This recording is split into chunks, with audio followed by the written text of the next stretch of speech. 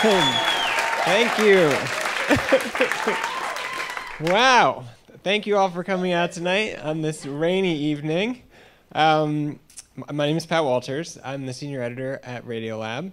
Uh, we have a really exciting and kind of weird show planned for you tonight. I think you're really going to like it.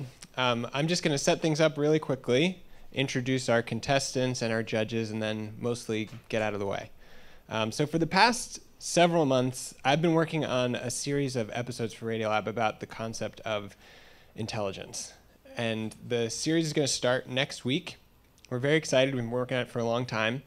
We're going to get into all kinds of fascinating and, uh, and at times controversial stories about IQ tests and race and genetics. Uh, we're going to go into the dark history of eugenics. Uh, and we're going to talk about some cutting edge genetic science. We're going to have a little bit of Einstein in the middle.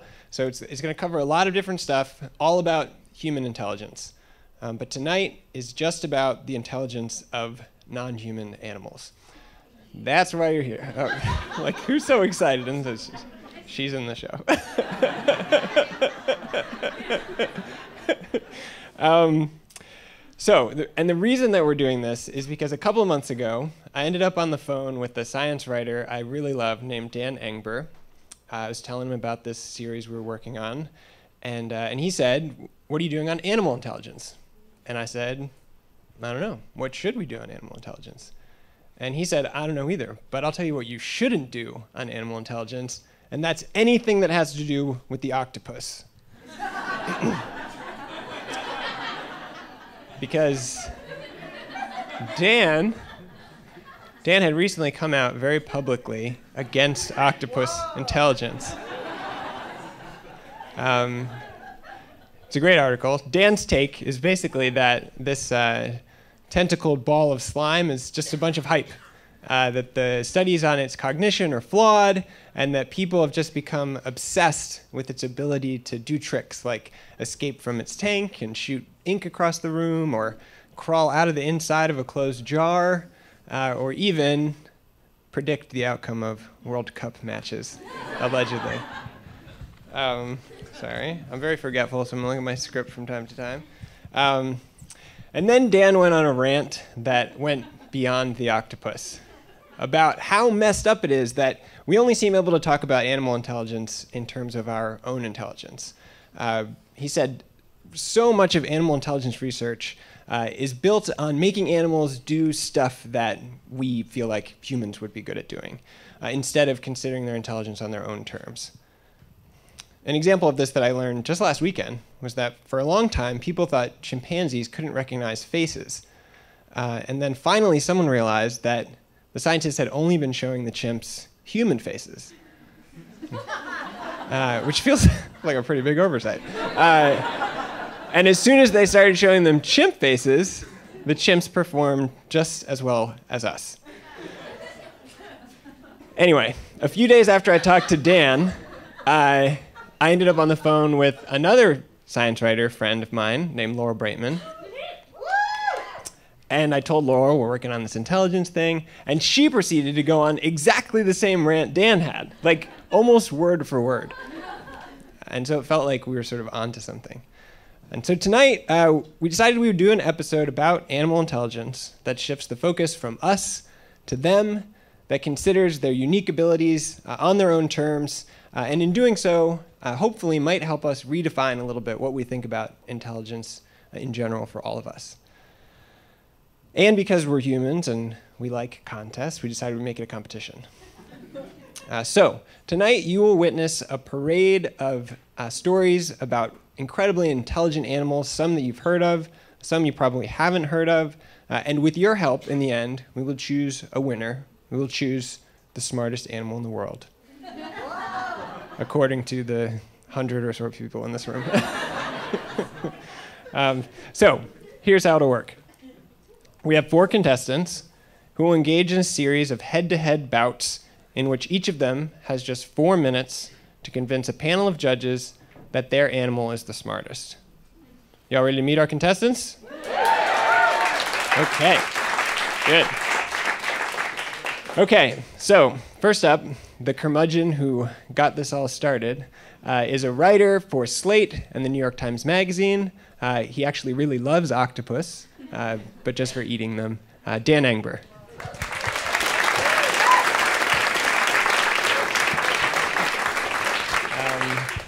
Next up, also a writer, author of the best selling book Animal Madness, and a professor at Stanford University. Just flew out from California for this yesterday, Laurel Braitman.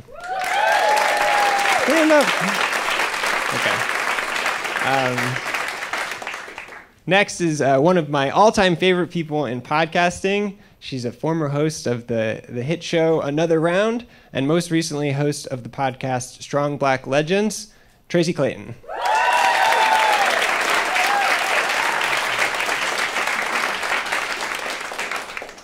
And finally, he's a comedian, a writer for Comedy Central, and co host of the live comedy and science show Drunk Science, which happens at Littlefield in Brooklyn, Jordan Mendoza.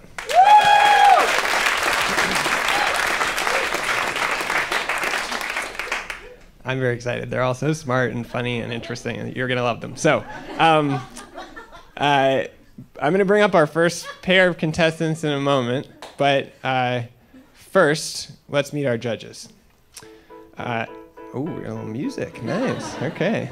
Uh, so first, please welcome. Uh, th- these two guys have done hundreds of stories about all kinds of smart animals. Uh, please welcome the co-hosts of Radiolab, Jad Abumrad and Robert Krulwich.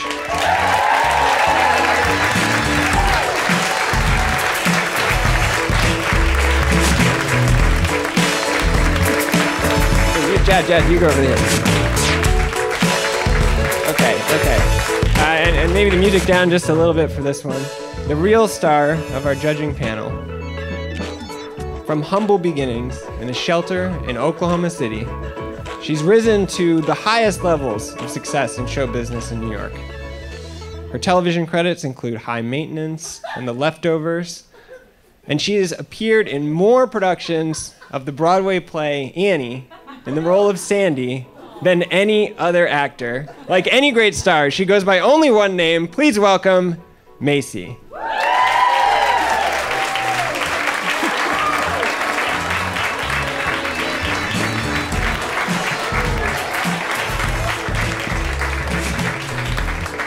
Okay, so for for those of you, oh, oh, laugh, laughter of joy, and um, for for those of you listening to this on the podcast two months from now, um, Macy is a dog. She's uh, she's accompanied by her personal assistant Bill, who you will you will also see participating. Thank you. Um, okay, so before we start, I'm gonna go over here now. Um, uh, before we start, I just want to ask the judges here one question to kind of set the terms and make sure we all know what we're looking for. Uh, I want you guys to just define intelligence in you know two or three sentences. Uh, how would you define what you're looking for in the contestants' uh, stories tonight? Robert, why don't you start? Animal intelligence. Animal intelligence. Animal, well, I would say that a very smart animal should be asked, How well do you understand your world? Knowing that some are sniffers and some are tasters and some are good flyers and so on. But really, when you see a fox on a snowy day jump into a pound of snow and somehow land right on the little mouse that's two feet down, I think that's a smart, smart animal. Mm-hmm. Because although not like don't you know, contradict yourself now. Well, I was just thinking that like one this is one idea. oh, then that's it. Okay, then that's it. Understand very well what you're doing. Do it really, really well. Yes, that's as far as I guess I'm allowed to go. Good. Yeah, yeah good. Jad. Uh, I would say, I mean, intelligence is such a squishy term, so I guess, I guess it would help that we define it so we know how to judge. Yes. Uh, I think what I'm going to pay attention to uh, are arguments on behalf of creatures where you see the creatures encounter some kind of obstacle and then problem solve their way around it. Mm-hmm. So creatures that are flexible can adapt very quickly, yeah. and um, and I'm gonna give a special nod, I think, to creatures that show collective intelligence or like moral intelligence, if that's even a thing. Okay. So that's what I'm gonna be paying attention to. Okay, good. Macy, uh, what do you think? How, how would you define intelligence, Macy? okay.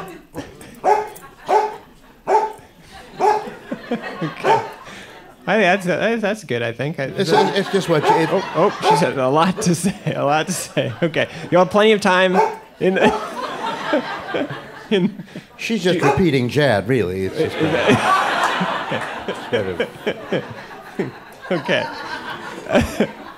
uh, okay, so uh, just to recap, the contestants are going to go head to head.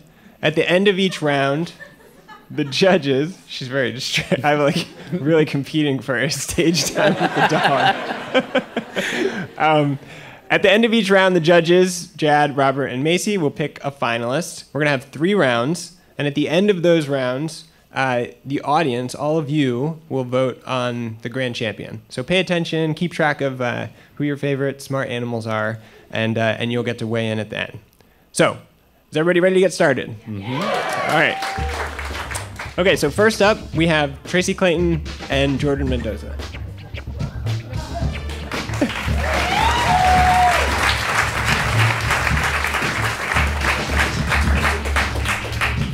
Sir, Uh, ma'am. okay. um, okay, so uh, Tracy, what is your uh, what animal did you bring for this first entry? um, the smartest animal in the world, hands down, is the crow. Boo. Wow. okay. okay, okay, So we have the crow. I was just kidding. I don't really. No, they're fine. Yeah. No, he meant that. This is war now. This is the fight. We're fighting. We're fighting. Uh, Jordan, what what's your entry for this round? Uh, a s- slime mold.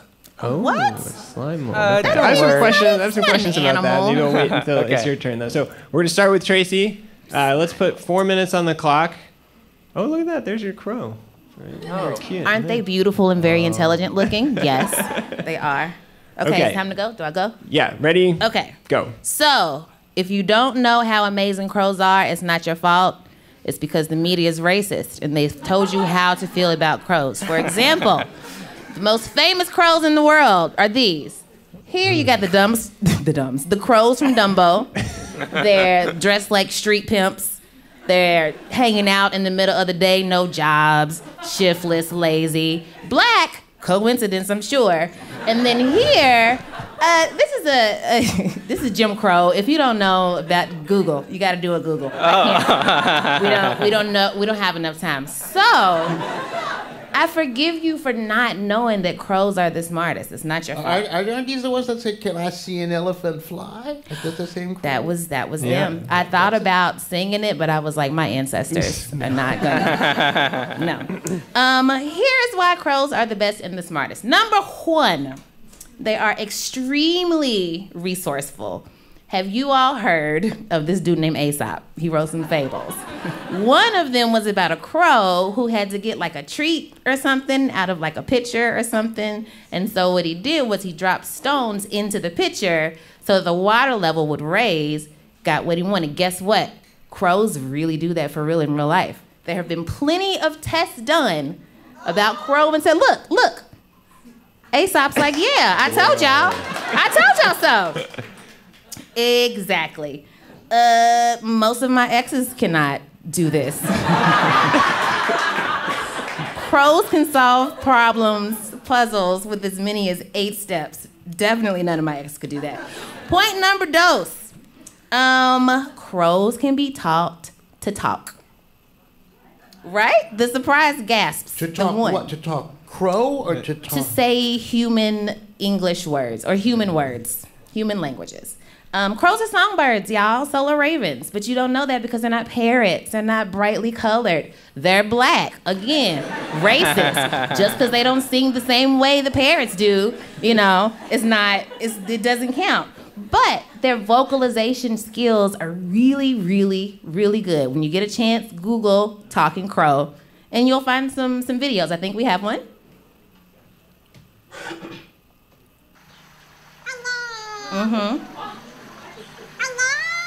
Mm-hmm. Oh there it is. Yep. Yep. Exactly. That's exactly. a real crow video? Yeah, yes, yeah, yeah, that's yeah. an actual crow. Crows can talk, as can ravens. Corvids, as they are called. They're both songbirds. Point number three, B, C. Point number C. Crows have funerals, right? But they have funerals for good reasons. Not that humans don't have funerals for good reasons, but humans have funerals to make ourselves feel better. Like, oh my God, I miss Big Mama so much. I just need to see her one more time before she goes on to the whatever in the sky crows. Also, we still have wakes where we literally sit around and look at a dead body and wait for it to wake up, even though we know it's not going to. Evolve out of that, please. It's not. It's not time. Here's why crows have funerals, right? So Rashad dies. Bless Rashad. He's just plop. Rashad is the crow. His crow named Rashad. So the crows are like, oh, can I? What is what is the cuss word thing? You can say whatever. say it. Oh Yeah. shit, man, Rashad, what the fuck, bruh, what happened? And so all the crows will like congregate around Rashad to see what killed him, so they can be like, we need to stay away from whatever Rashad was doing because look at Rashad now, you know? It's and you need intelligence to stay alive. You know, the world's full of serial killers and sociopaths and this, that, and the third. Speaking of, point number, whatever number and letter we're on. Did I skip something? Probably. This bourbon is really good. point number four. Crow.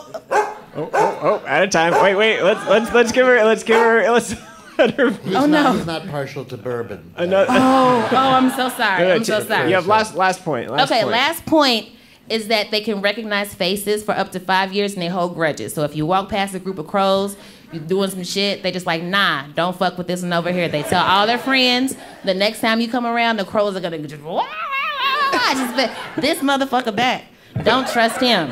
It's amazing. So in conclusion, crows should not be called a murder. They should be called something smarter, like a symposium of crows, or Wait for it. a Clayton of crows. Just throwing it out there. All right. The defense rap. Tracy Clayton with the crow.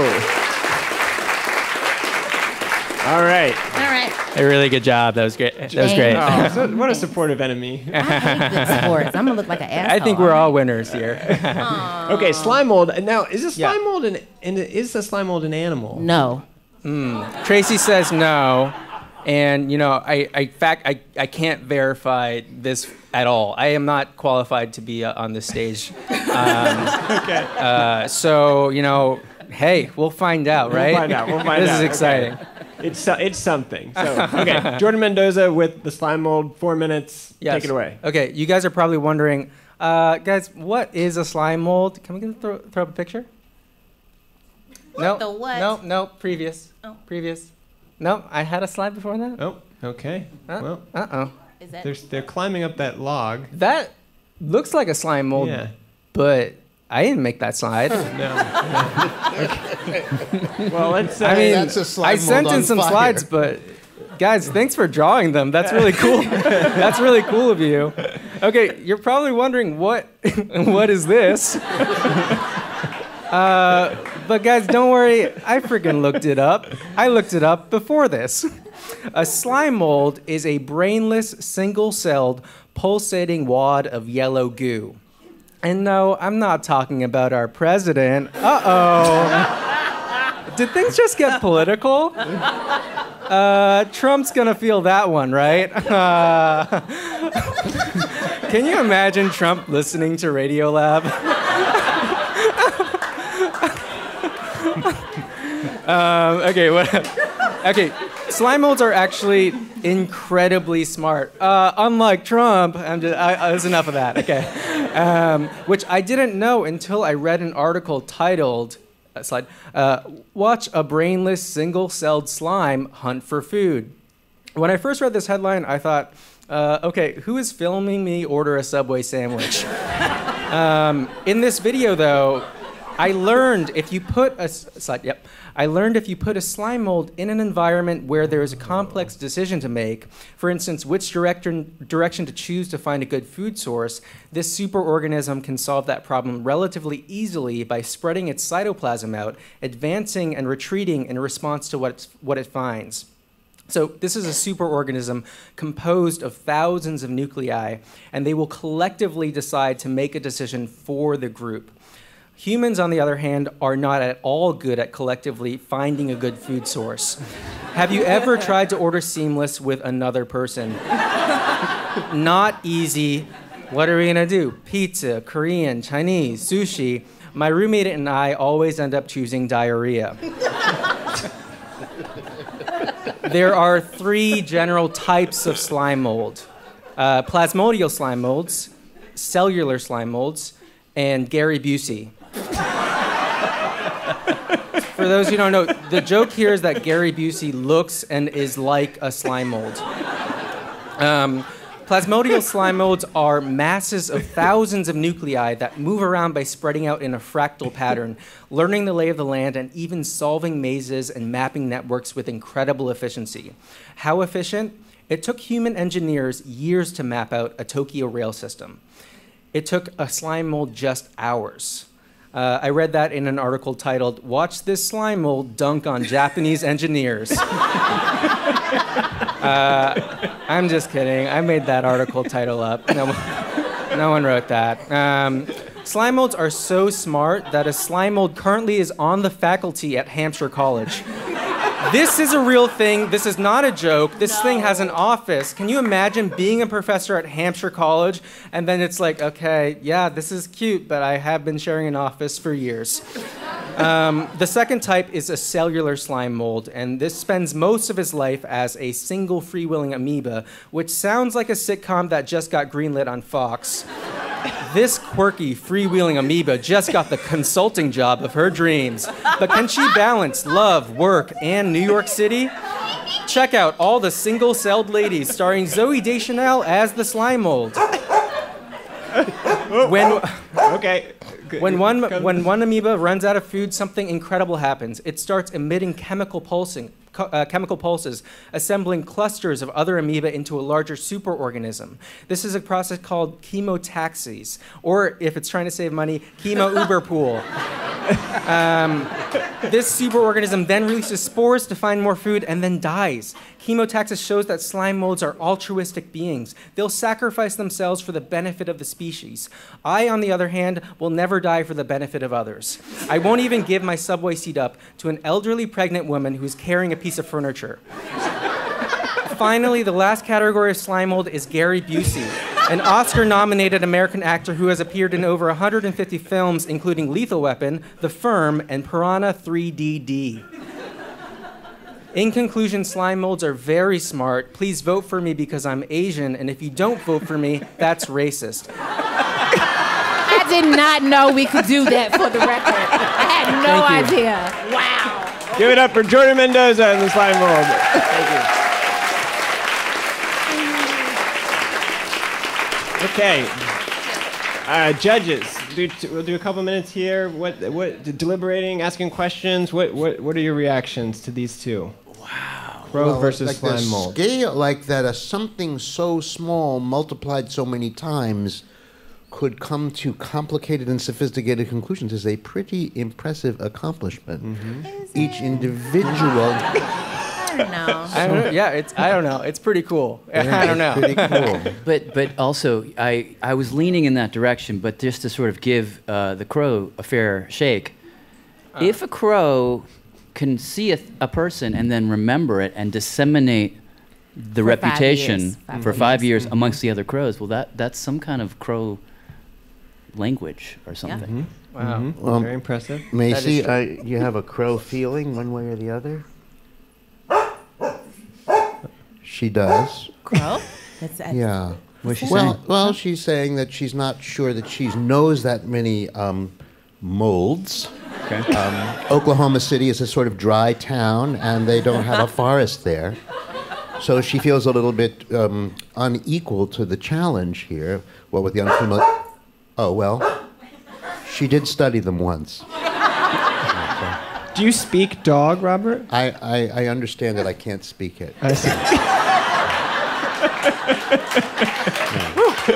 but Okay. Well, she, is, she is partial to Gary Busey, which uh, okay. has uh, has confused her. Her Well, vote. let's let's let's vote. Why don't we go down the line? Jad, who, who- what do you choose? Gosh, I think just on. I think I'm gonna have to go with the the slime mold. Ooh, wow. After giving it up for crows. Okay, so Jad slime mold, Robert. I, I'm going. I, you know, with great respect for crows that hate well, I, I agree. Uh, they, they can, but I'm, I'm going to go with the slime mold as well. I Okay, think. let's, let's do slime mold. And Macy. All right, all right. Macy. Sound like crow Oh my God! What do we what do we have for Macy? Crow. Crow. So Crow, okay. surprising. All right, all so right. surprising from an animal. Despite her who- love of Gary Busey, Yeah. she voted for Crow. Okay. Okay, so the winner of the first round is the slime mold. Wow. Mm-hmm. Great work. So you're everybody. racist Great and work. sexist. Great, great. Okay, okay.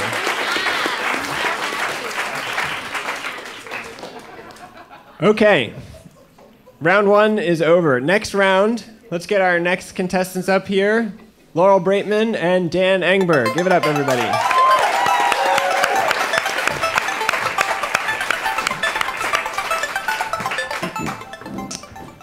Get your mics adjusted here.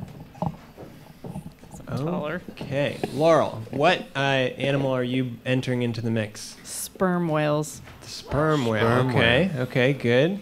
And Dan, what will you be bringing to the table? The chicken. The chicken.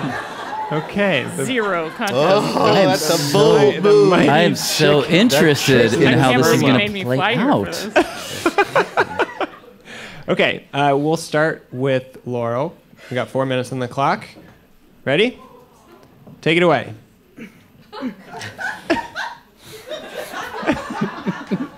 I invited some friends. I don't. Is this on? Yeah. Okay, Yeah, yeah, great. you're good. Sperm whales are huge, the biggest tooth whales, but in a lot of ways, uh, they're like us. They have big brains and really complex social lives, but unlike us, they live in a matriarchal culture. They probably even have stronger social and emotional bonds than we do. Young males go off on their own to find a new pod, and then everyone else stays together for the life sperm whales communicate a lot like us too, physically and with language. But they also have a third way, and I think we should consider it like a sixth sense. Maybe you think about echolocation like boat sonar, like a ping goes out and then it bounces, the sound bounces off a thing in their environment and then it comes back um, and giving gives that boat like a grainy shape of whatever that object is. And dolphin and whale sonar does this too, and so do bats. But animal sonar also comes back as a physical feeling. In the case of sperm whales, it's really loud too. They make the loudest sounds of any animal on Earth, up to 230 decibels. Whoa. I know. It's actually it's louder than standing next to a jet engine at takeoff. Our eardrums can rupture at 150 decibels, which is basically like a gun going off next to your head. Sperm whales make these click, creaking, and buzzing sounds in their nasal passages. And then they amplify and direct them with this big, fatty, waxy organ in their foreheads um, called the melon. And it's like, I know, it's a terrible word. They probably have another word for it um, that's better. Uh, but it's like a huge built in megaphone in their head.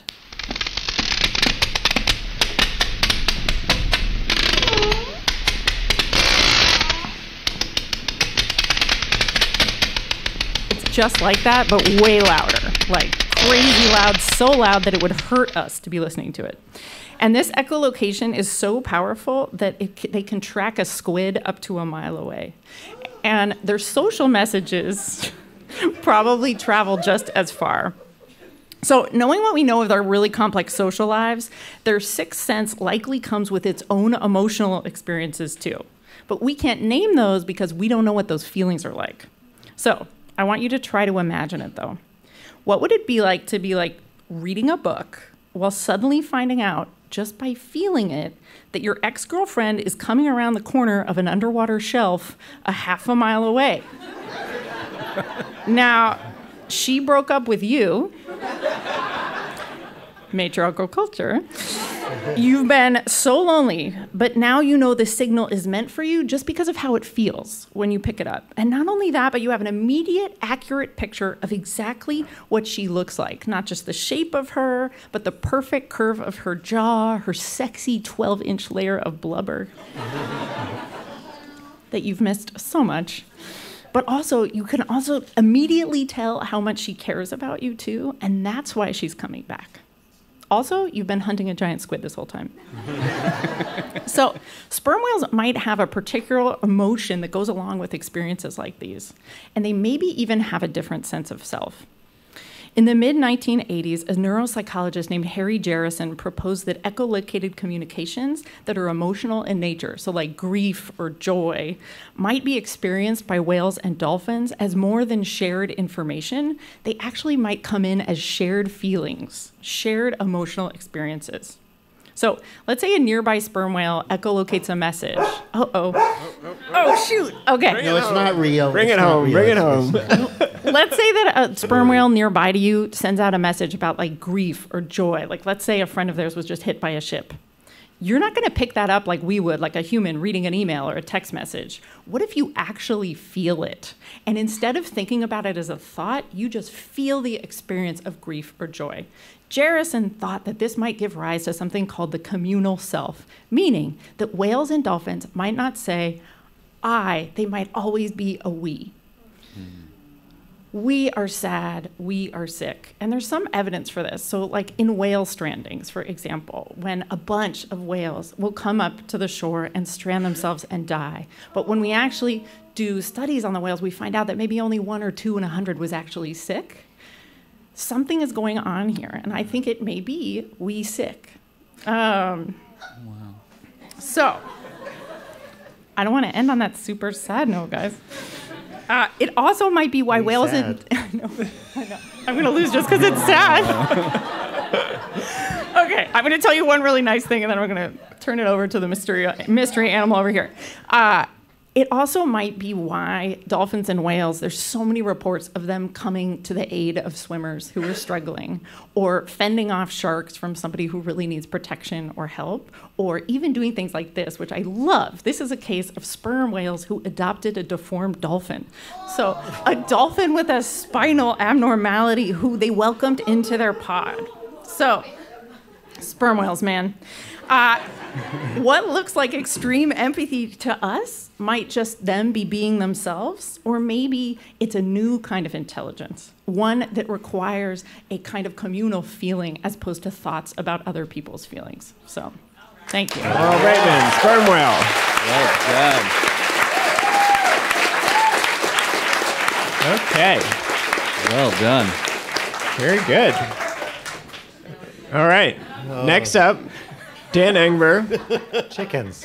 with the chickens. Before I, I, as I talk, I want you to keep in mind what I think was the key point of Laurel's presentation, which is that sperm whales are very loud. It's what the loudest animal. Okay, chickens. They're very loud. That was what. Anyway, let me start with this. A chicken can beat a human in tic tac toe. A chicken almost always beats a human in tic tac toe. I learned this fact in high school when my friend Rob got obsessed with one particular tic tac toe playing chicken named Willie, who lived at the video arcade at Mott Street. And Willie beat Rob over and over and over again at tic tac toe. Willie wasn't unique. Birds like him were once a pretty common carnival attraction. Their popularity peaked in the early 80s when trained chickens were shipped around the country, rented out for $200 a day, or sold for several thousand dollars each. And these chickens were so good at tic tac toe that humans were getting demoralized. At least one distributor started having the birds lose on purpose every fifth game to make it seem more fair. Now, it turned out this whole thing had started years earlier in the South at a place called the IQ Zoo in Hot Springs, Arkansas. There, a pair of scientists, Marion and Keller Breland, had built a business out of training up strange animal behaviors. Their zoo was like a product showroom, a place to demo the ducks they'd taught to play piano, or rabbits that drove around in little fire trucks, or hamsters on trapeze. but the Brelands. You don't have to be that smart to go on trapeze. The Breland's most popular and enduring act was the bird brain, a chicken in a box which disappeared behind a screen to peck O's onto a game board. Chinatown Willie was one of those, or maybe someone else's knockoff. In any case, I watched that chicken play a lot of tic tac toe. Peering over Rob's shoulder, I tried to figure out the chicken's secret strategy. But then, last week, really last week, I discovered that all those observations were for naught. As I got ready for tonight's talk, I stumbled across a copy of an old instruction manual, which the Brelands would send out with their bird brain units. And according to that manual, the chicken in the box wasn't really playing tic tac toe at all. In fact, behind the screen, there was nothing but a single light bulb and a switch. When the light went on, the chicken pecked, and an O appeared somewhere on the board in a spot chosen by computer. I found this kind of devastating. Partly because I'd promised Pat a talk on the intelligence of chickens. but here's the reality chickens are kind of dumb.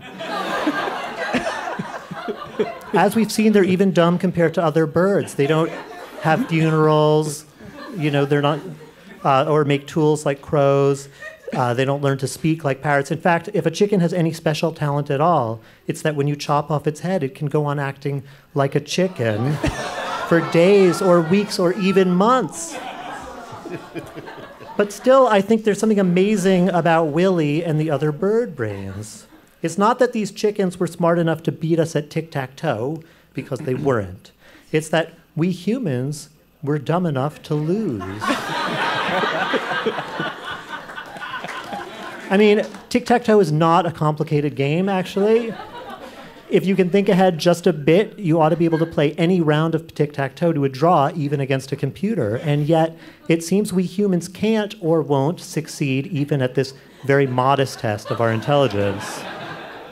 And I think that's useful to remember, especially tonight. Because this whole project to rank species according to their smarts takes it as a given that a gulf exists between the very dumbest and the very smartest animals, that the chicken and the chimpanzee or the sperm whale or the crow live on separate continents of cognition. But I call that vanity. That's what Willie taught us, that there we were standing in the same arcade, befuddled by the same computer, each unable to succeed at the same simple game. We were joined together across several hundred million years of evolution by what we couldn't do. Judges, a vote for chicken is a vote for finding that common ground. it's a vote for unity and kinship. A vote for chickens is a vote for all of us. Thank you. Dan Engber with the chicken.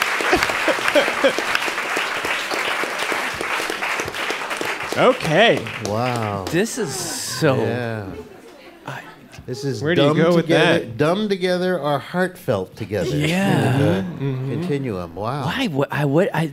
I don't even know. What do you? What are you? Which way are you leaning? Well, I, I did not know that stuff about the sperm whales No. at all. I, I should recu- I actually played on Mott Street with the Chinatown Chicken in the 1980s, so I probably should not and lost. But so uh, you know, I don't know whether the other judge is awake, but uh, my own sense is I I was so flabbergasted by the whale. So let me just understand uh, what you're you're saying that an animal at a distance will not only say I see you, but will say I feel you. Yeah, but they probably have their own word for it, right? Yeah. So, like, w- the closest that I could think of in the, like a mental exercise so that we could imagine being sperm whales is thinking about feeling it. But it would be some emotion that comes in as a physical feeling, like through your jaws, into your forehead, deep into st- freeway into your limbic system. Emotional experience that comes in by feel. Hmm. Whereas the chicken's just going. But I isn't can't that, believe we're both standing up here together. I- I no offense, Dan. No offense. Can I can I ask a fussy question about the about sperm whale? Is uh, course. Isn't all emotion somehow it, it's it's a physical physical, right? Yeah, we have a limbic So- system too. So is it a question of degrees that, that somehow they are experiencing that in much, or is it an entirely different kind of intelligence? What do you think?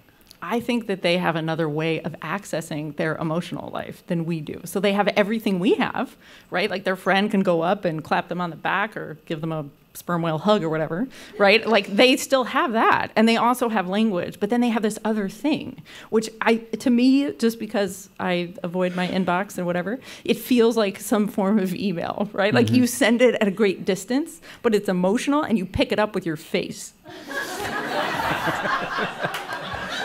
I, you know what? Wow. I, I, I think I got it. I, my heart goes sperm whale. I, as a political platform, I vote chicken. Yeah. But as my heart says, uh, I, I got to go for the sperm whale. I uh, this is like the Meryl Streepification. I mean, if we were better humans, we would have the kind of antenna and radar that a great actress would have, where you can just somehow project and return. You go to a movie like with her, and you go, you know, every move she makes like t- touches you. Oh, I can't. I can't. I am enthralled by this. What, what you saying? Doesn't like Streep. What, Oh, because he's she's a Broadway star oh. herself. oh, Rivalry. what, what about She's feeling Streep right now. Crow? A little. Just a little. Streep. Well, let's, let's so so you vote. I go sperm, sperm, whale, yeah. Jad. I go sperm. Sperm whale too. Is that- Sperm too. That's three. A sweet. Yeah. Wow. Okay. All right. Tough break, Dan. All right. Dog voting against chicken. Okay. So first two rounds. First round went to the slime mold. Second round went to the sperm whale. Uh, for the third round, we're gonna ramp things up a little bit and, and create sort of a new challenge for our competitors. Uh, the first challenge is that they are now going to have to compete with their nemesis from the first round. I'm feeling more tension than I expected to between them. I feel like those losses were were hard and deeply felt. Um, and so, so we're gonna team them up. and We're gonna have a round, a two-on-two round. And the other challenge we gave them is uh, we noticed that we weren't really paying that much attention to the furry mammals. I think a lot of us imagine that we may be among the smartest animals in, in, the, in the animal kingdom. Uh, some of us won't, yeah. And so, but we decided let's do some furry mammals. But uh, but the challenge was not to do any of the usual suspects. So no humans, of course. No chimpanzees. No elephants. Uh, no dogs. Sorry, Macy. Um, come up with an unexpectedly smart furry mammal uh, with your with your new uh, former enemy teammate. So, uh, Dan and Laurel, what did you uh, what did you come up with, and, and was it uh, what was the was the process uh, amicable? It was obviously the raccoon. Maybe you should come Yeah, maybe we should. Maybe we should have a. Why don't, why don't you guys? Uh, maybe I wish we had a mic for you. Maybe we'll. Maybe we'll, I'll just go over here. So, so so uh, it was obviously the raccoon. Why? OG of the animal kingdom, been showing us how to live in cities for a really long time. Yeah, I'm just I, there was no other choice. I don't even. Why are we talking about this? It's a no. It's a no-brainer. Um, what about Tracy and Jordan? Do you uh, what? How, how's it gone for you, for you at the teaming up? Okay, so it's not that I took my loss personally. I just don't understand how I lost, and I'm very competitive. So uh, it's not going great. We're I'm still working on being able to communicate So It's with. not clear what you're what. Nah. We, ha- we have yet to choose an animal pet. Yeah, we don't. We haven't chosen anything yet. Okay. Well, let's. It's not my fault. It's, it's not my fault. I just want everybody to know. It's his fault for beating you the first. Is that what we're saying? okay. Okay. Okay. So you take you two take a few minutes, maybe sit next to each other. That might be a start towards collaborating. Uh, and we'll start with the raccoon. So give it up again for Dan Engber and Laurel Braitman.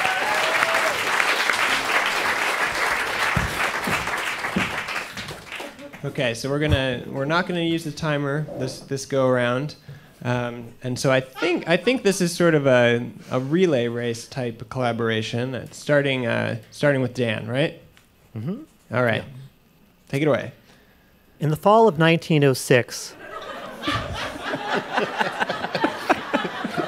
We're trying to win, Dan. I know. In the fall of 1906, this headline, Smart Raccoons, was picked up by several major newspapers. The column underneath described a Mr. and Mrs. Golopard who'd been traveling from town to town in a double decker covered wagon beneath a family of trained raccoons that worked for them as chimney sweeps. It was not the only story of its kind. In those years, raccoons were often touted by reporters for their high intelligence, or their sagacity, or their skill at making mischief. Their most famous talent was for slipping out of things, or also into them. And not just chimneys. At a time when Harry Houdini was getting famous as the handcuff king, raccoons were known for something similar the ways in which they could outwit their human captors, their genius for escape. This is the odd and tragic story of how we came to understand briefly, a century ago, that raccoons were among the very shrewdest animals of all, and then we forgot. the link between an animal's slipperiness and its smarts was once well established among scientists. At Columbia University, Edward Thorndike had been testing the intelligence of cats and dogs by locking them in boxes. He'd seal the box with latches, bolts, or string pulleys and leave a snack outside as motivation. This was Houdini in the lab, an escape room, but for animals.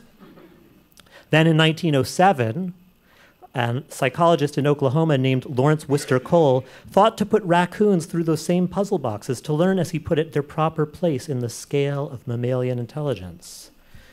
And he found some amazing things. His raccoons, Tom, Jim, Jack, and Dolly, would at times break free of the puzzle box and then ignore the food reward. It was as if they'd gone through the exercise not in service of their hunger, as other animals might do, but to satisfy an inner curiosity. Or perhaps, said Cole, to alleviate their loneliness. Cole also found that his raccoons, unlike cats, could learn to escape a given box just by watching humans do it. Another experiment convinced him that raccoons possess a visual imagination, that they can hold a color in their minds. And based on this and other work, a soft consensus came together in psychology that raccoons were, in fact, quite high on the scale of mammalian intelligence, much higher than a cat or a dog, at any rate, and maybe even on a par with primates. But alas, this whole idea was soon to be challenged and erased. In the same year Cole published his research, the president, Teddy Roosevelt, lashed out against the tendency of nature writers to ascribe human like abilities to raccoons and other animals. The president, who is an avid outdoorsman, called this fake news.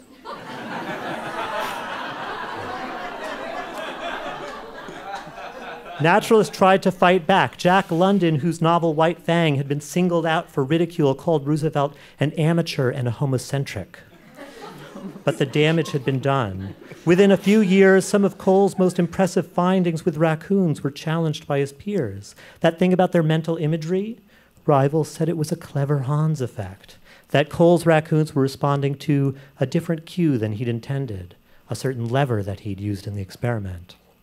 Even scientists who believed in Cole's research would find it hard to follow up. For one thing, the raccoons they meant to study kept escaping. And a new paradigm was spreading through psychology, one that had little time for musings on a raccoon's imagination or its curiosity or its loneliness. In place of puzzle boxes, now there were mazes. In place of Tom and Jim and Jack and Dolly, there were rats. Nameless rats. Lots of nameless rats. so raccoons vanished from the lab, and then, as cities grew, they vanished from our lives, out of sight, and for a while, out of mind. Dun, dun, dun. Dan Engber.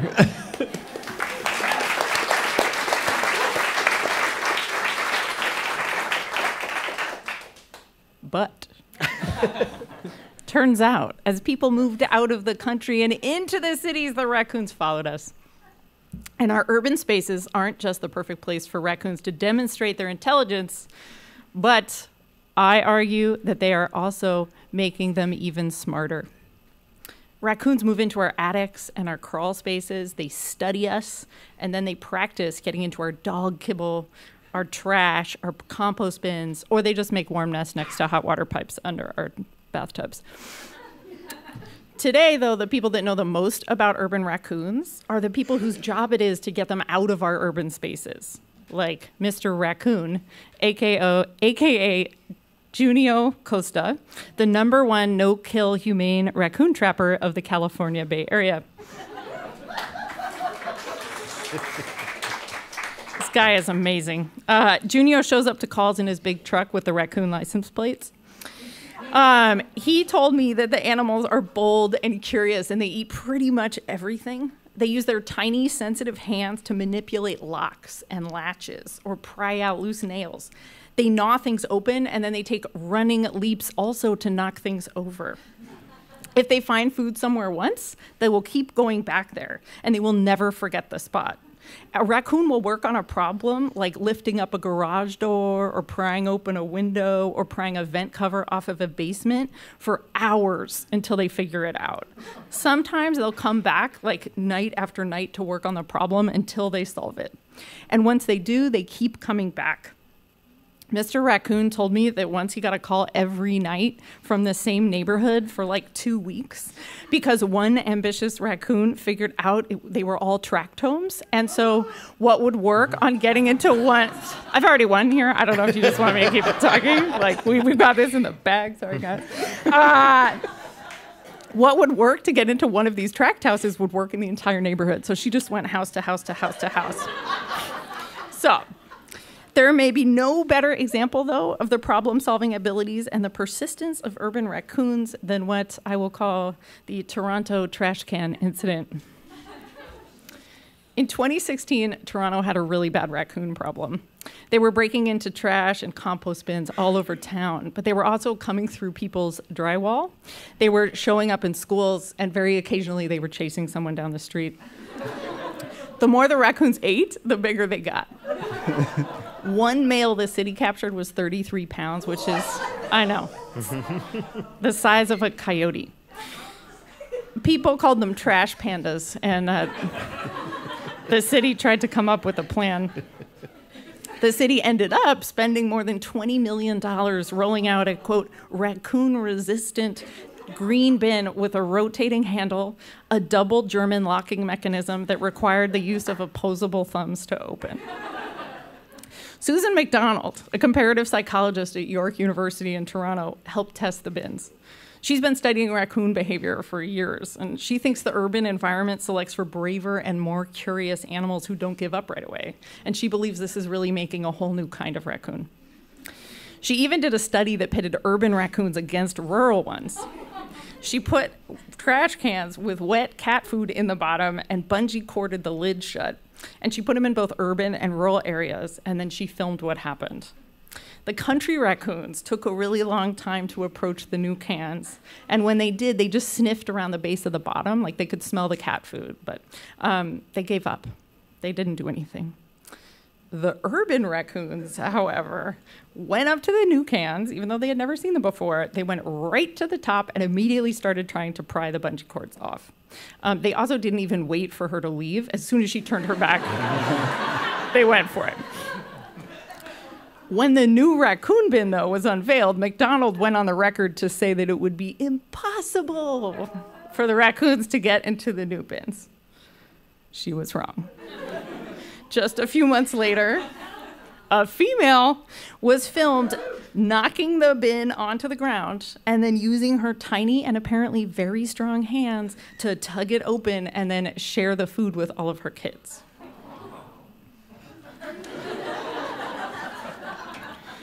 the city said the lid must have been broken, but the owner of the bin, who's actually a reporter for the Toronto Star, swears that it wasn't. Since then, lots of other folks have reported that their trash cans have been breached. Raccoons are really the on, one of the only animal species to fare better um, as humans spread all over the planet. Not only that, but we are each problems for each other. They try to outsmart us, we try to outsmart them. It's unclear to me which of us is getting more intelligent faster. All right, give it up for the raccoon team. Okay. Um, any any quick reactions to the raccoons? I don't want to take up too much time before we hear the next. Well, it's like it, it, feels like a Hollywood premise. I mean, soon they'll be in elevators, and then they'll become your servers at restaurants, and then they will become I don't know clothes salesmen. Mm-hmm. I mean, it's it's a nightmare in the blooming. it's so interesting that they learn us and then us, and then enter our world. Success. So, so the only thing that sort of saves it a little bit is so far it's just break and enter. Like it's Yeah. not, it's not like, would you like some coffee, or, or, you know, or something truly scary. Yeah. But uh, wow. Okay. Well, let's. Uh, so raccoon. So that's the raccoons. Um, how have you, uh, team two? Have you? Let's maybe let's switch spots and co- come onto the stage and let's bring back Tracy Clayton and Jordan Mendoza. Hey. So, here's- here's what thing. have we decided? We have not decided on a particular animal because it's just hard for me to. to I lost unfairly, so I uh-huh. see. the I see. conversation didn't go A great. Too much. I believe her. Yeah, she, she was. She it. did a great presentation, and she she should have won. Yeah. See now I look like an asshole. No, no, no. We're all winners. We're all winners. Uh, We're not. We're not. we- I lost and I don't like it. So here's the thing. Okay. So what? What did you? We've end up do- decided on a type of mammal, A type of mammal. the okay. marsupial. yes. Oh, okay. we have the our own individual marsupials. And the marsupials are the the ones they have with the, the pouches. the They got creepy pouches. pouches. Yeah. Yeah. Creepy pouches. I don't okay. enjoy. I don't like the pouches. Okay, so so it's a whole family of animals, or is it is it t- t- Listen- two one- two animals, or It's two animals. Two I, ch- animals. I chose koala as my Okay. animal, and, uh, And- Tracy, you chose. I chose an animal named the quokka or quokka, depending. Wow. Okay. I hear it. Yay. Ju- judges? Do we we allow this? I, I I'm open to it. Two animals. I, I w- we're here, man. Yeah. All right. Let's do it. All right. Let's do it. Okay. So uh, it, it seems like you're gonna s- kick it off, Yep, Tracy. I mean, I can. All I right. can absolutely. Let's do it. The Um, quokka. uh, so I heard some woos for a quokka. How many people know what a quokka is? One, two, three, four, five. Perfect. Okay. Um, the quokka is the, I lost my place in my very scientific outline. Okay, so the nope crows. So the quokka is a marsupial, right? Um, native mostly to the island, an island called Rottnest, off of Australia, which is full of awful animals. Everything in Australia will kill you except maybe a quokka. I don't know. We'll talk through it. So I still can't find where my shit starts. Uh, okay, okay, okay. Here is why the quokka is also the smartest animal in the world. Number one, it is a PR genius, right? If anybody here works in media, you know how important public relations are. You know that there are very few people who are good at it. Quokka is great at it. How do I know? I'm glad you asked. Here's how I know. I I did a search on Google Maps, right? Just typed in the word quokka. What what pops up? Um, several businesses on the island, also on in Perth, Australia, which I guess is also an island. I don't understand Australia, um, but there's so many businesses that incorporate the quokka in its advertising. I found actual businesses named Quokka Cakes, which is a vegan bakery. They make amazing looking things. Quokka Press, Quokka Healthcare, Quokka Auto Parts, and Quokka Garage Doors specifically. I guess they don't count as auto parts. I don't know. And I think the swankiest hotel there, which is now called Hotel Rottnest, beautiful, was once known as the Quokka Arms Hotel. Now, as a black woman in media, since I now know that we can do that. I know how hard business negotiations are. You know, you have to ask for money, you got to make them think it's their idea. The Quokka clearly has it down because what does the Quokka know about garage doors? Nothing, I'm assuming. But they're on their logo though. You see? It's not easy. Also, they are so good at PR that y'all probably don't know that they're considered pests on Rottnest Island. So the way that you feel about pigeons, which Could you just say what's the name of this island again? What rot? Rottnest, R O T T N E S T. I do know a little bit about the history if you would like to hear. Oh no, that's okay. Rot nest. okay, then never mind. Honestly, it sounds awful, but the pictures are really, really pretty. Um, but um, but um, they're, they're pests, and they're pests because they're not afraid of humans. We'll get into that later. Um, uh, they're also really good at search engine optimization. Again, media is the way I relate to the world. And when I say that, here's what I mean. Here is what you see when you search for an angry quokka. oh my god, he's so mad. Oh my gosh. Now this is the first picture that pops up, okay? It's a picture of a very, for the podcast. It was a picture of a very happy, Happy. looking, He's very smiling. friendly quokka. He wants a hug. He's just like, I'm so happy to see you, person I've never seen before. Tracy, could you could uh, could you describe it just for the people that aren't in the, Yes, in the room? I would love to. So there is a quokka, which looks like a small, maybe wallaby-ish thing without the tail, and it's kind of like a mouse, but not. And it just smiles all the time, and he's got his arms outstretched, and he just wants to hug you and love you. Hey, friend. Oh my God, I, I know we haven't met, but I miss you. That's what his face is saying for our listeners. Indeed, indeed. So this is the first picture that pops up when you search image search for angry quokka. Here is the image when you Google ferocious quokka. I know it's upsetting. I know. I know. Would you would you describe this one, Tracy? So this one, he's so cute, or she. They are so cute. So this is again a quokka, and and the backdrop is just like a sandy beach with a bike. Apparently, quokkas ride bikes. That's cool. Um, and he's just like, you know, hey guys, what's up? What's going on here? He's just kind of like looking and smiling. He's got his little hands together. Adorable. Adorable. Like lips Absolutely are like pursed for a kiss. so- you know, all they want to do is love you. That's it. That is it. And here's what happens when you Google quokka attack. You get zero stories of quokkas attacking people, but you get a terrible story of a man, obviously, who attacked a quokka. like he kicked it into a wall. Right?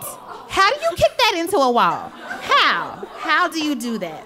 So, the good news is that that guy was fined like four thousand dollars, which should have been higher, honestly, because look at this, look at this face, look at that punam, look at it. So, I think it's impactful and it means something that when you Google a quokka, image search or otherwise, it's just cute, happy pictures. It's just the best image. Like imagine if when somebody Googled your name, it was just like you donating all of your money to a village of, I don't know, burning orphans. I hope that doesn't exist. or something like But the optics are good, right? They know that. I don't think this is an accident. I really, really don't. I don't at all.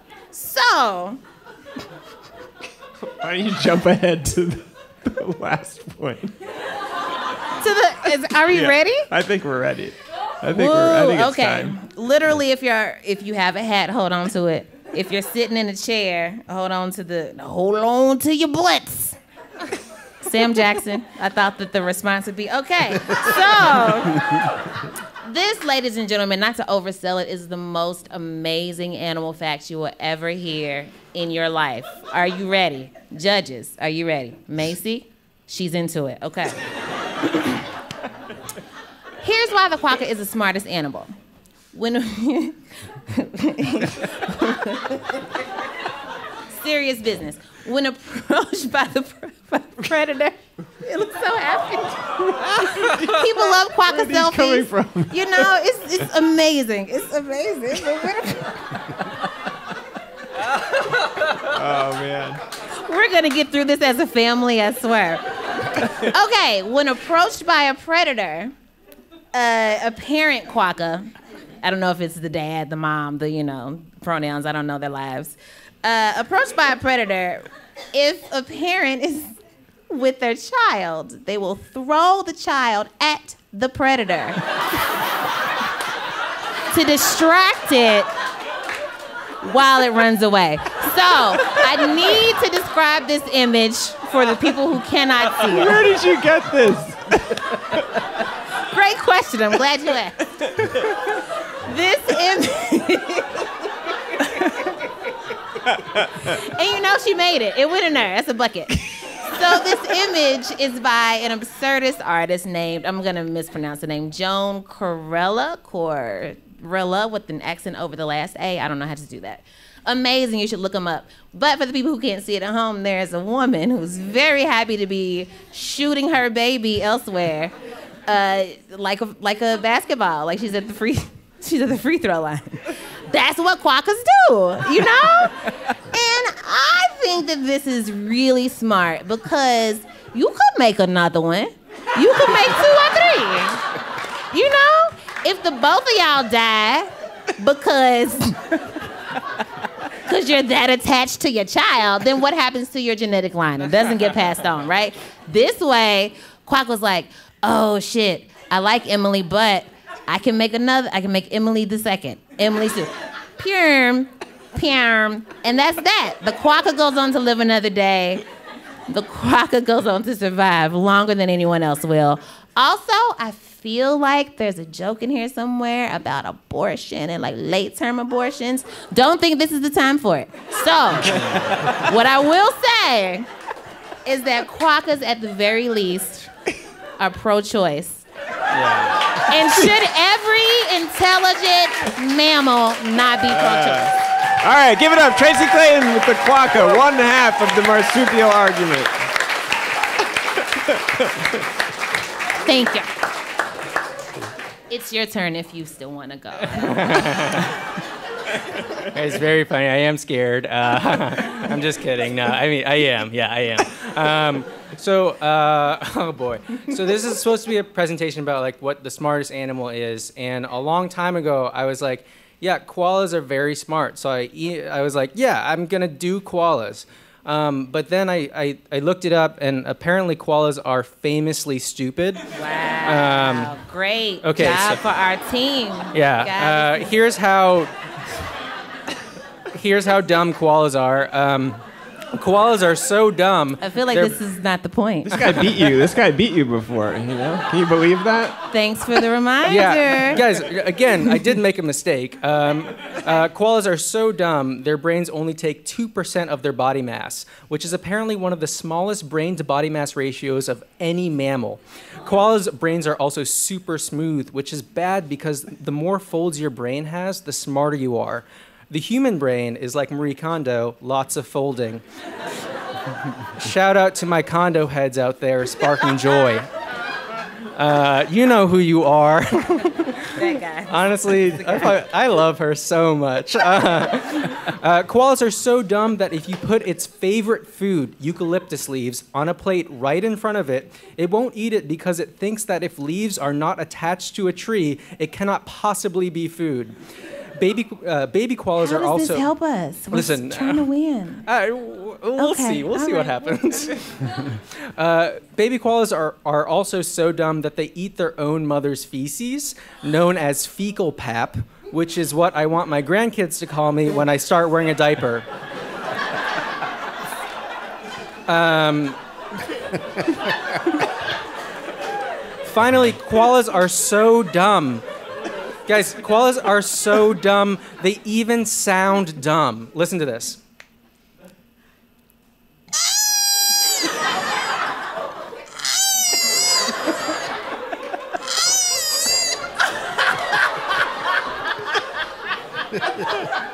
so, so perhaps, perhaps koalas aren't conventionally intelligent just like how choosing koalas for this presentation wasn't conventionally intelligent. It was not. It was not. But I propose that we rethink intelligence. Partly because I'm stuck with this animal, but mostly because I believe that this animal is in many ways smarter than us. Perhaps koalas are like how my mom describes me smart in their own special way. Um, let's compare koalas and humans to see who looks smart by comparison. This is a koala's daily schedule. Um, a koala sleeps 20 hours a day, while the remaining four hours they spend eating and mating. Incredible. Imagine only being awake for the amount of hours you need to eat and have sex. I mean, I'm not a huge fan of sex because I'm quote unquote awful at it, but boy, do I love eating. The human schedule, on the other hand, is horrendous. We sleep on average 6.8 hours a night. We wake from our nightmares, then spend 10 hours reading emails and worrying, five hours on a conference call, and two hours eating dinner out of a big bowl while watching Billions and hoping to God that Paul Giamatti's voice can lull us to sleep again. And as a side note, I am releasing an album of ambient Paul Giamatti noises called Sleep with Paul Giamatti. When it comes to anxiety, koalas, unlike humans, don't have to at all times be listening to a podcast because they need to drown out their own thoughts. Humans, on the other hand, are statistically all listening to a podcast. You are currently listening to a podcast because you, like me, cannot be alone with your own thoughts. For real, the moment I step off this stage, AirPods in, I'm listening to Radiolab. Koala, when it comes to proving themselves to others, koalas have nothing to prove to anyone. But our most successful human has to own billions of dollars and date Grimes to feel seen. Uh, Elon, if you're listening, I actually really appreciate your work, and I think you're doing a good job. Um, in conclusion, koalas have optimized themselves for life's greatest gifts eating, having sex for those who enjoy that kind of thing, and sleeping without the need to listen to Paul Giamatti's voice. And that's smart. Now, who sounds stupid? Still koalas.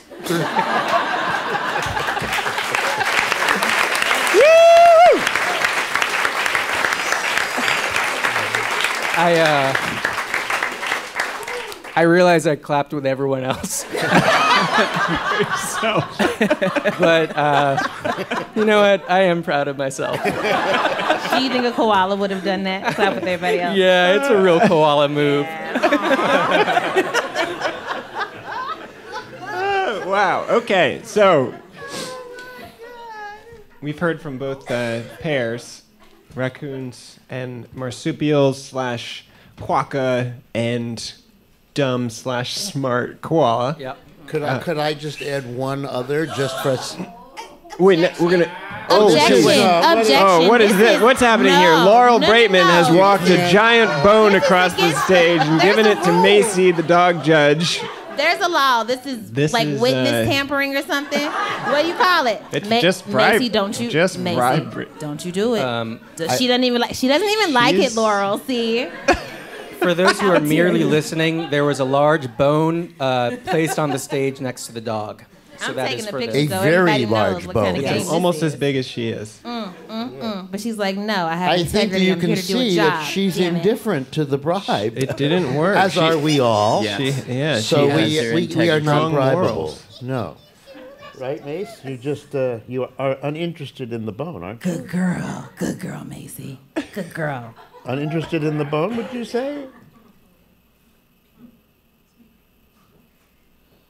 Well, she doesn't really have a comment. Wow. Yeah. Okay. Okay. Well, so let's let's uh, let's proceed with you guys. What? Okay. what yeah. well, That was a I- lot of that was a there's lot of stuff There's a lot to, to take in there. A lot Yeah. of different arguments were put forward. Uh, I think I got to give this to the marsupial uh, du- duet. Ooh, all right. All right. All Who right. what? See me after the show. I say. This was good. What? Very cool. Row number two is having a lot of problems with our, our judging.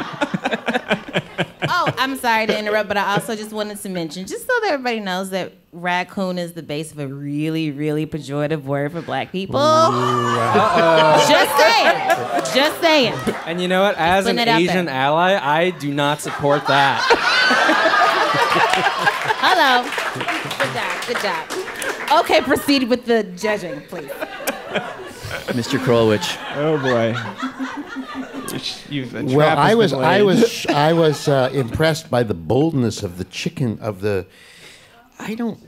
No, not chicken. The, the, the, the raccoons. The ra- Yeah, raccoons. raccoons. Uh, I was I was impressed.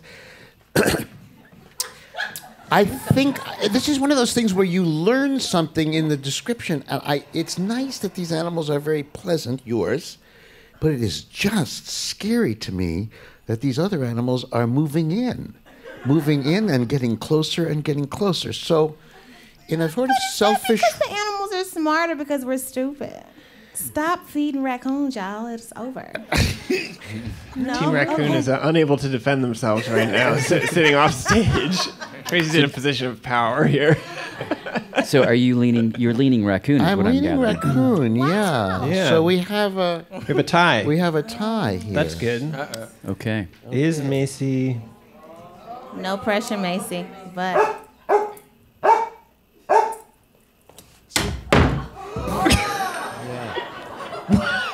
Wow. I think Macy. I don't know well, what. you, you made a don't know really what you made there. a really big mistake. That's the case here. Oh wow. There is honesty and integrity in the judge community, and what we've seen here is a perfect example of that. Macy has decided that because of the shock and the and the behavior of one of the sides, she feels it only necessary to go all out with The the marsupial. marsupial. Okay.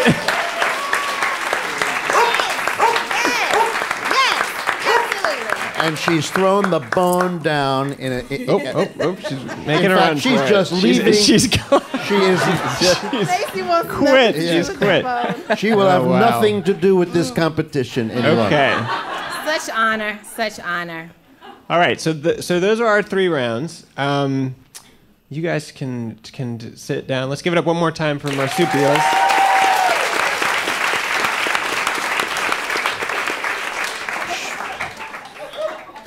Laurel, what? So- What is that bone? Do we need to? Do we? Should I take it away? Oh, I- should we I- take it away? Can we ad- at least identify it? What kind of bone is that? Yeah, that? what is this bone? Piece of a steer? Piece of a steer. Steer bone. Wow, that's the biggest bone I've ever seen. Okay. Should okay, I, so should I, should well, I- so so so we've done our three rounds. We've we have our finalists: the slime mold, the the uh, sperm whale, and the marsupials. And uh, the last the, to pick the grand champion, we were going to go to the audience.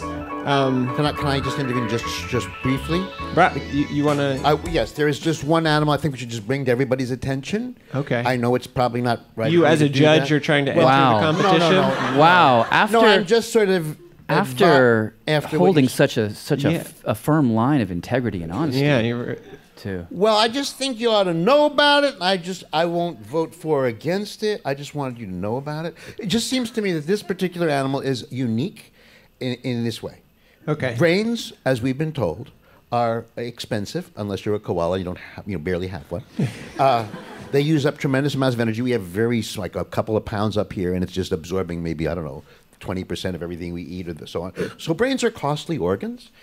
Um, I wanted to just mention the sea squirt because the sea squirt has has figured this out and has sort of solved the costly brain problem. It is born in the sea. That is why it's the sea part. If you grab it off the gr- uh, out of the water, out of a you know a pond, and it goes, it will squirt you in the eye sometimes. That's the squirt part. When it is born, it is kind of like a tadpole. It has wiggly tail. It has an eye. It has a baby primitive brain called the cerebral ganglion. And when it's born, it sort of looks around and says, okay, I gotta go someplace safe, someplace I call home. So it uses its eye and its brain and its tail to go here and there and here and there until it lands head first. That is like literally like where it stays forever. And then it turns pretty much into a stomach. It, uh, it becomes just an eater, and it absorbs its tail, it absorbs its eye, and it then absorbs its brain. So this is, you've heard of brain food, this is turning your brain into food for, for protein. So because it knows from now on it's going to just sit on this rock and swallow for the rest of its life. Water will come in, it will eat whatever's there. So it's like a living stomach, no brain necessary. So the lesson of the sea squirt, I just want to mention it because this is an intelligence sort of competition, is if you have a brain, of course you should use it. But if you've run out of any use for it, what you do is you eat it. so you end up being stupid but very well fed. And that I think is an extraordinary example of genius. Okay, for the sea squirt.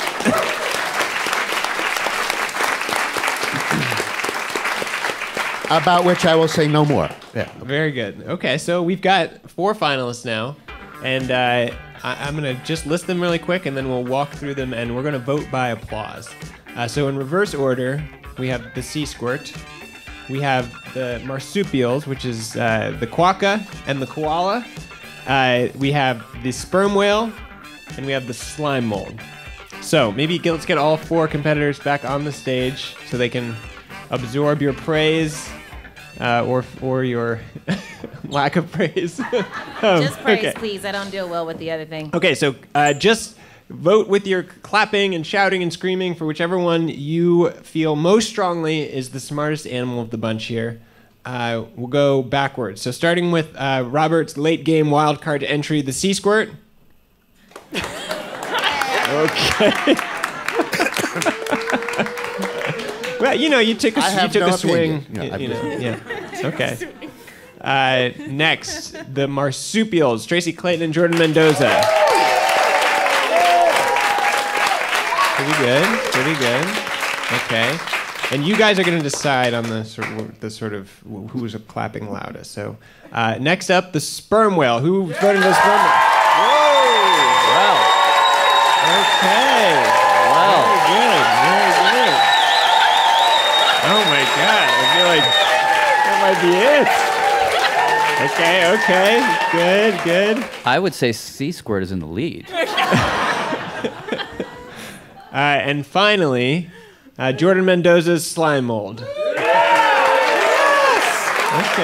right, we got some- some people out there. I think it's I think it's pretty clear. clear who the winner is, I right? think so it's- I, I asked to cue up a drum roll, but I think we Yeah, kinda- I, Drum roll, please. Ah, we're gonna do it here. I think the winner of the contest, the smartest animal in the world, is the sperm whale. The crown goes to Laurel Braitman.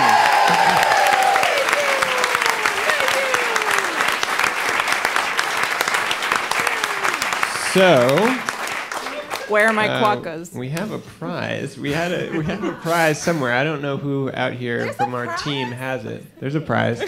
Uh, we had we had planned to give a uh, give a gold fish to the winner, and instead we have a red fish. We have a, a betta fish for uh, for our winner, Laurel Braitman. One more time for Laurel Braitman winning our competition.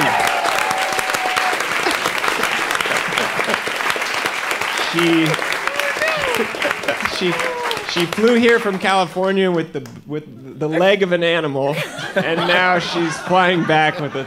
With So a do we not fish. care that she attempted to bribe the judge? We just we just don't we just don't care about that, I, right? we're, I guess we're I guess we're letting. All I mean, right, the, the, the people have I mean, spoken. the judge you know? didn't. I, I, don't mean, know. the judge didn't want it, so it didn't no, work. the- Okay, all right. Congratulations. Okay, that's that's our show, everyone. Thank you, thank you to, to everyone. Please give it up. And I have some thank yous. Thank you to our contributors: Dan Engber, Laurel Braitman, Tracy Clayton, and Jordan Mendoza. Take a bow. Uh, thanks to our judges, Jad Abumrad, Robert Krulwich, Macy, and Bill Berloni, her assistant. Uh, thank you to the Radiolab staff who put this night together Rachel Cusick, Nora Keller, Suzie Lechtenberg, and the whole team here at the Greene Space. Uh, tonight's show and all our reporting on the intelligence series that's starting to come out next Thursday has been supported by Science Sandbox, a Simons Foundation initiative dedicated to engaging everyone with the process of science. We're very grateful to Simons. And additional support for Radiolab is provided by the Alfred P. Sloan Foundation, enhancing public understanding of science and technology in the modern world. And most of all, thank you all for coming out. We can't do this without you. Uh, thank you for coming in the rain, uh, and have a great night.